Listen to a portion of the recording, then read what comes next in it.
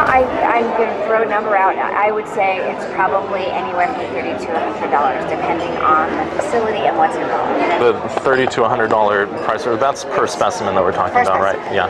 Yes. In a statement, Planned Parenthood says there is no financial benefit for tissue donation for either the patient or for Planned Parenthood. In some instances, actual costs, such as the cost to transport tissue to leading research centers, are reimbursed, which is standard across the medical field.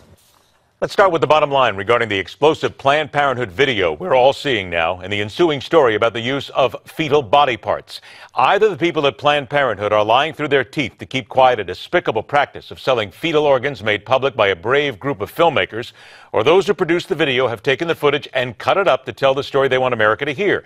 And Planned Parenthood is doing nothing medically or morally wrong. Those are the two sides. Start there, go no further. If you want to get to the bottom of this, that's where we begin. First up, she is president of the pro life group Live Action and a tireless anti abortion activist, Lila Rose, joined by licensed attorney and co founder of Lawyer Up, Elura Nanos. Ladies, I want to thank you both for joining us. Let me go to you first, Lila, because the president of Planned Parenthood has apologized for this, saying that it was an unacceptable tone as far as what this individual said, but she said the organization strives as its top priority to provide compassionate care. Does that make you feel any better? It's interesting that Cecile Richards, the president of Planned Parenthood, throws her senior medical director under the bus in her statement, but doesn't once get specific about what she did wrong. And the fact is, this is happening at all levels of the organization, where Planned Parenthood, after killing children, sometimes in the late second trimester, is then harvesting their parts for financial profit, as it's been proved, and I can explain that more in a moment, in this video shows in order to make an extra buck after the original buck of selling the abortion to a woman in a difficult situation. All right, now let's look at the legalese of this as well, because Laura, certainly you as an attorney will be able to at least speak to this.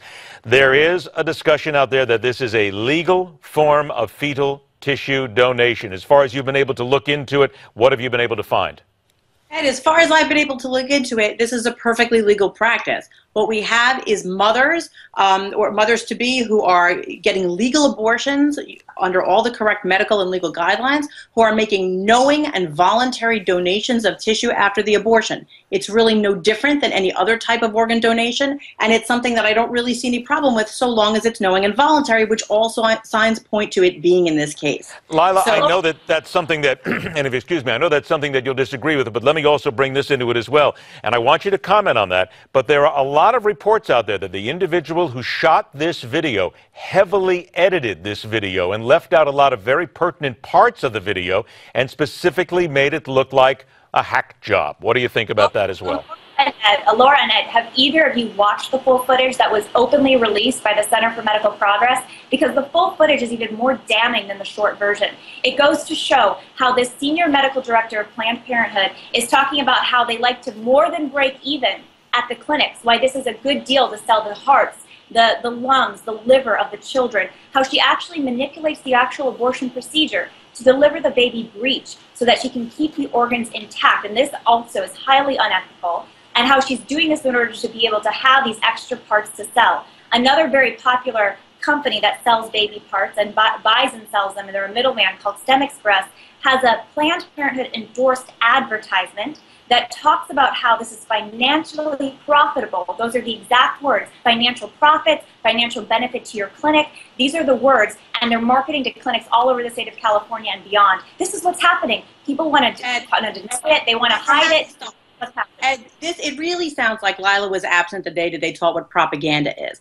I don't understand how anybody could possibly see this video and not understand that it clearly has been edited, that it clearly is manipulative. And I also don't really quite understand how any American could un- not think that if there were an organization as high profile as Planned Parenthood doing something like selling fetal parts for profit, how could they possibly not have been prosecuted? Okay? There are plenty of people in this country who hate all things abortion and Planned Parenthood. And those people are standing by at the ready to prosecute anyone guilty of doing anything criminal. Okay, hang It- on one second, Laura, because we're short on time, and I know Lila's in here, but because of some of the technicalese, we can't always hear her. Lila, I've got about 30 seconds left. Please respond. Laura has clearly not watched the full footage, and the reason that Planned Parenthood is getting a pass by many in the mainstream media and many politicians like presidential presumptive nominee Hillary Clinton and others is because for them, abortion is sacrosanct and they refuse to look at the facts. Watch the full footage yourself. Planned Parenthood is covering up their fetal parts trafficking that they're doing, and it's a horrific human rights abuse. We are going to have to look at this again when we have more time because, again, this is a, a, a very morally uh, important issue that we talk about here.